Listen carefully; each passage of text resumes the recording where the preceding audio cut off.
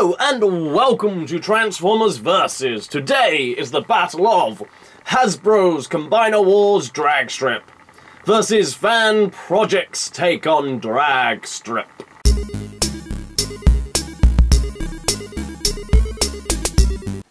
Hasbro's Combiners Wars Drag Strip is a loving homage to G1 Drag Strip. Unfortunately, it is not a six wheel monstrosity of the future, but your regular sort of Formula One racing car.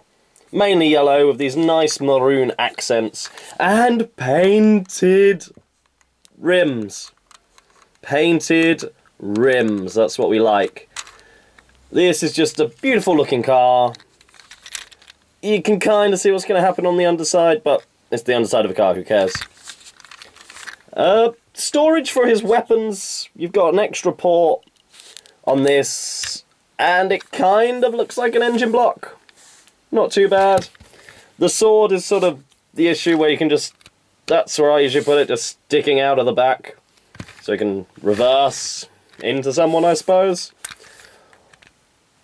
Or you can kind of have it on the side, where like driving past, just slash. Or pointing forward and shooting off in an odd direction. I just suppose stick it out that way and just, if you had two, that'd work a bit better, but just one, a little bit awkward, but at least there is somewhere for them to go. Vehicle mode, rolls nice. Vehicle mode, rolls nicely, and that's pretty much everything it can do. Fansproject's take on Drag Strip is this modern beautiful, sleek looking pod Formula One racer. These love these panels covering up the front wheels. Just looks so cool.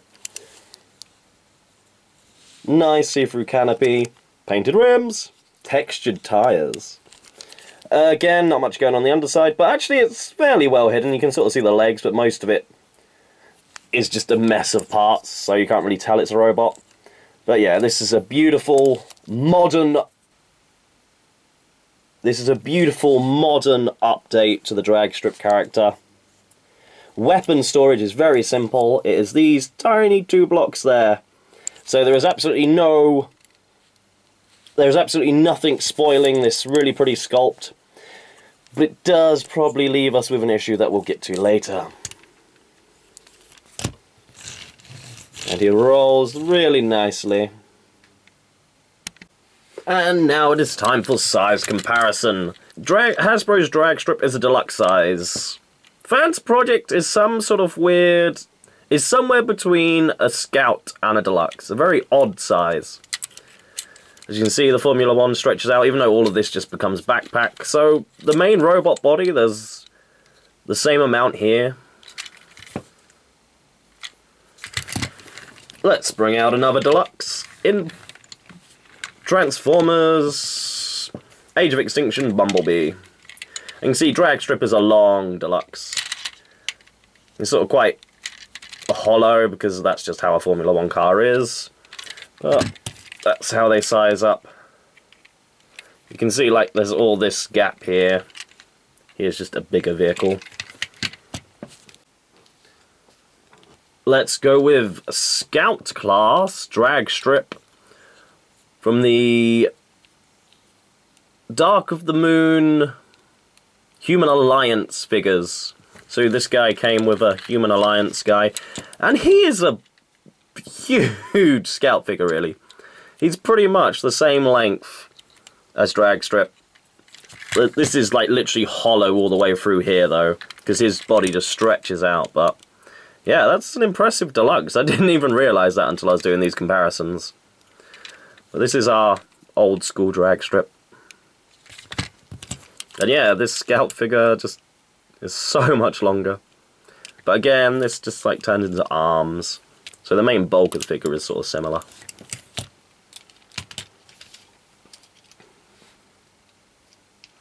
And we have another Scout Formula One looking car.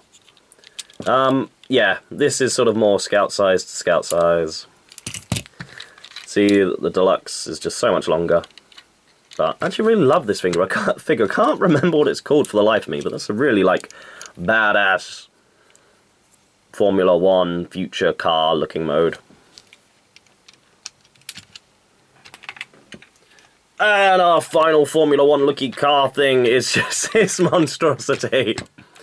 Uh, Energon, bam. Cliff Cliffjumper, he is just this huge monster. He was actually like a mega class, which is a step above a Voyager, and look, these, these guys together barely like make the length of him. So yeah, there's some size comparisons. Drag Strip is a joy to transform. It is completely intuitive. There is nothing you're really going to miss by not looking at the instructions. The backpack folds up nicely and locks into place. Everything is intuitive and easy and it makes an effective transformation. They managed to make a very compact car fold out into a nice looking warrior. Unfortunately, the way of getting there is a very finicky transformation. It is very rarely that I have transformed this and not popped off, especially the shoulder panels from the ball joints. And I've quite often transformed him and forgotten to slide down the rear wheels, even turning around the transparent canopy. If you turn it the wrong way, it can crack, and I actually had to glue this back together. After that effort, you get a sleek looking robot. And after that, we get a nice deluxe size robot. See a bit more maroon coming through on the legs, and the car parts just work so well in his design into robot mode. The chest is a little bit lackluster, literally just being a complete combiner port, but it actually does break up the colour scheme, so it actually looks quite nice. Shoulder pads, nice and angled, and he's got these massive like cufflet, sort of massive cuffs. I just love this angled look. Posability is everything you really need. Nice high shoulders on an extra swivel joint. A little bit of wrist, not exactly rotation. Ball joints. Swivel joints. Knees. It's got a nice, solid base to stand upon. His feet are big and support the figure well. The backpack locks in on the back and just... And they managed to make the backpack lock into place. And it just looks really nice as a backpack. I'm glad they rotated this round rather than just have it flip over so the underside's exposed. This really does close off the back of the figure nicely. And let's look at that psychotic face. I adore this face sculpt. It's like crying blood. Visor look is just completely mental and I love it. For weapons, he has this, which is the hand-foot thing, which is meant to be some sort of electrical cannon. With a bit of imagination you can see that. I really wish all of these had a port here. No, I don't. I really wish all of these had a post here. So you could put them on that way around. Because you have to turn it around there. And then like the knuckles are exposed and so is this underside. If you could just have it the other way around, it would just look a, that little bit nicer. And it looks fine as kind of a shoulder shield and you can zap people. His other weapon is this nice looking sword gun. I think it makes a much better sword than it does gun. Particularly because of how his wrists have this really nice cuff. You can't hold it that well. And it's uh, kind of angled down. No idea why. But as a sword, it is lovely as a short scimitar for slashing and stabbing. And here we have Fansproject Take on Drag Strip. Here's just a nice yellow warrior. Got all this paneling, all this sort of detail on his chest. His shoulders are quite busy and none of it locks together, which makes it a bit unwieldy, but I wish if this could clip in, that would be a really nice shoulder. But this bit, just if they could figure out something else to do with it, I think that would look much nicer than having this sitting up here, and this just pops off so often. But again, movement is everything you want from this kind of figure.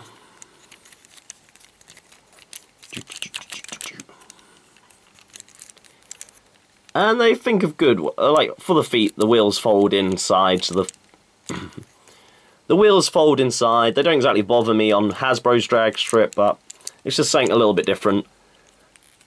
And the wheels kind of just hang out on the bottom of his arms. But again, it's nothing that really gets in the way or hinders the figure. And let's look at that head sculpt. Here's just a very nice standard figure, blue face, purple helmet, red eyes. Not quite as characterful and psychotic as Hasbro's attempt, but he just such a nice solid, a nice solid head sculpt. A really solid looking nose. Until I sort of put it in this angle, I didn't realise how much I actually like the shape of that nose. And his weapon is this absolutely tiny handgun.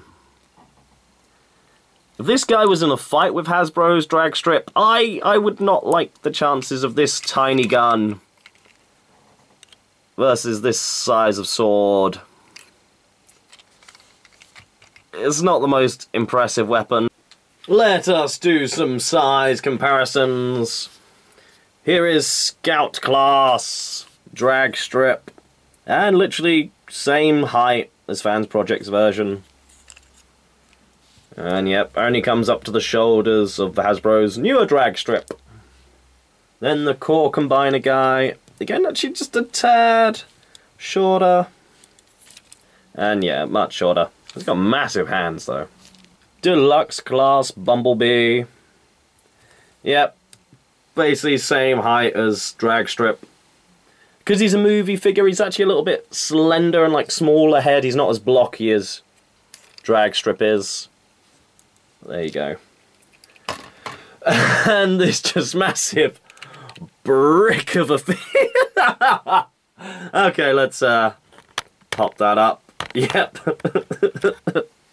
he is just this massive block of a figure. Yeah, he just towers over them. And look at this thing, just like side view as well. There's just so much mass here. I have to give it to Hasbro's drag strip.